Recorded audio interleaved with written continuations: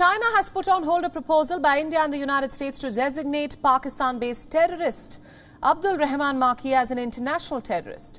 He happens to be a US designated terrorist and brother-in-law of the Lashkar-e-Toiba head and 2611 mastermind Hafiz Saeed. Indian government sources have called China's decision to put the proposal on hold extremely unfortunate. Hafiz Abdul Rahman Makki, also known as Abdul Rahman Makki, has occupied various leadership roles within the LET, which is a US designated foreign terrorist organization. He has also played a role in raising funds for LET operations. Makki has been involved in recruiting and radicalizing the youth to violence and planning attacks in India, particularly in Jammu and Kashmir.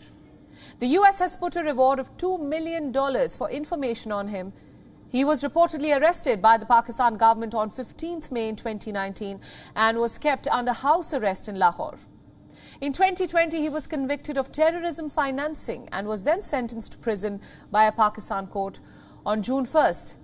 India and the United States jointly proposed to list Rahman Makki under the UN Security Council's Al Qaeda and ISIL Sanctions Committee.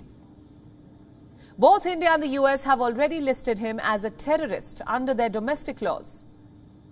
The proposal was circulated to all members of the Council's committee under a no objection procedure, but China placed a technical hold on the proposal. This measure blocks the adoption of the listing proposal till the hold is withdrawn. It can last for up to six months at a time.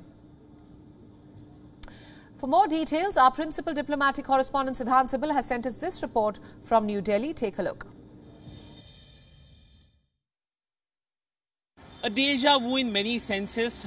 China has uh, put a technical hold on listing of a Pakistan-based terrorist. India and US had jointly proposed listing of Abdul Rahman Makki as an international terrorist under the 1267 Committee of the United Nations Security Council. Uh, the proposal was uh, mooted on 1st of this month and by 16th, if there was an objection, countries can raise it. The proposal was given to all the members of the 1267 Committee of the United Nations Security Council. Uh, but uh, this is something that, that has happened in the past, China putting a hold. remember, um, Masood Azhar. It took almost 10 years uh, before he got listed as an international terrorist. Uh, India started uh, that bid in 2009 and in 2019 that he got listed as a UN terrorist. So a lot of um, issues being created by China and the nexus between Beijing and Islamabad is clear at the United Nations. With video journalist uh, Ajit Siddhant Sibal for WION in New Delhi.